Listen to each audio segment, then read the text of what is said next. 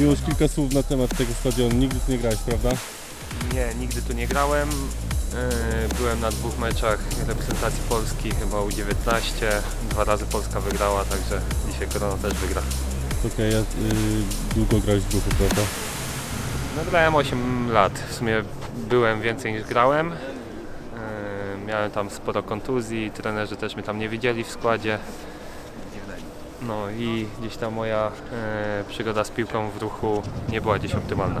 Ale Okej. teraz już chyba taki powrót po latach mega przyjemny, mega miły, nie? Na taki stadion, taki obieg. Wiesz, korona się rozwija, jesteś w klubie, jesteś na radarze selekcjonera reprezentacji, więc okres dla Ciebie.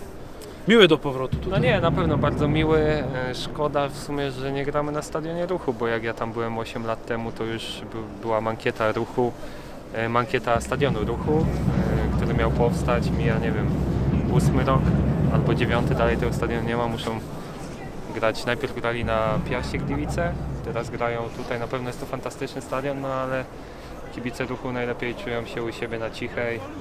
Naprawdę są to fantastyczni kibice, tak jak korony kibice.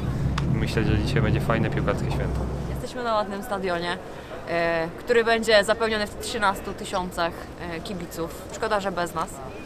Właśnie, a czemu nasi kibice w sumie tu nie można jakoś odznaczyć, wyznaczyć, zaznaczyć terenu, żebyśmy mogli siąść tutaj? Nie, wie- nie wszystko od nas zależy. Szkoda, bo liczyłam na to, że nasi kibice się będą mogli... My też jesteśmy tutaj gośćmi. No w sumie tak.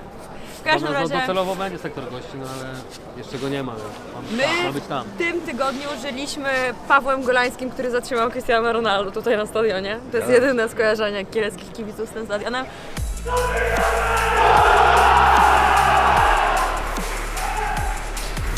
Lecimy panowie, powodzenia. Dalej, kolona, dawaj!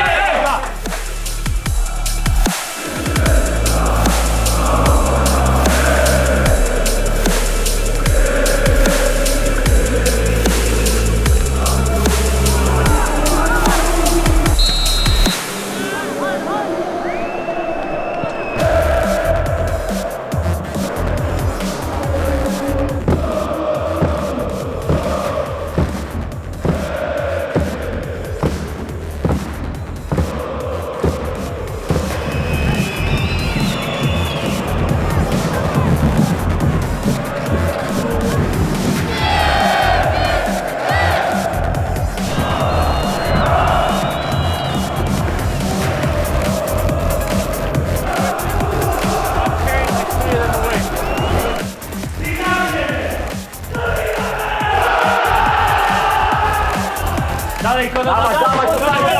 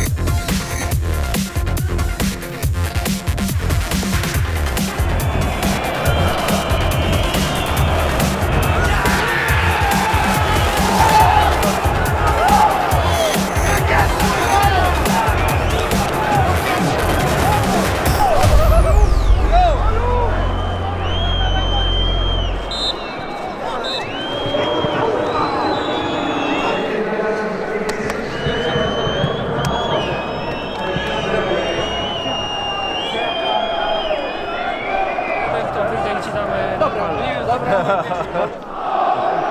Nick Jenkins.